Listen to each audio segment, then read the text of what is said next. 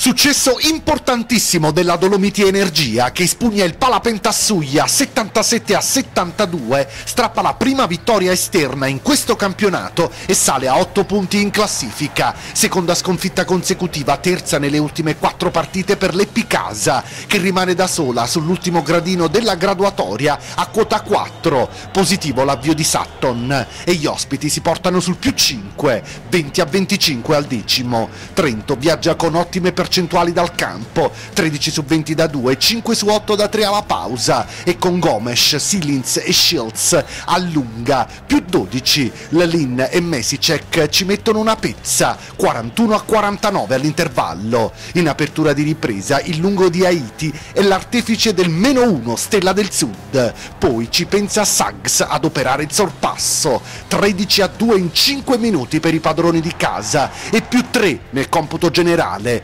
61 a 60 al trentesimo, equilibrio nella quarta frazione, più 2 Trento al 34esimo, parità al 37esimo, si segna pochino. Nel finale Gutierrez e Gomes sono decisivi per l'assegnazione della posta in palio, 9 su 21 da 3 e meno 3 nel saldo recuperate perse per l'Aquila contro il 5 su 23 e meno 14 degli avversari che hanno ceduto 18 possessi, 16, 10 rimbalzi e 6 falli subiti per Sutton, stesso score per Gomes, 14 per Gutierrez, dall'altro lato 23 con 9 su 12 da 2 per Lelin, 11 e 6 assist per Nick Moore.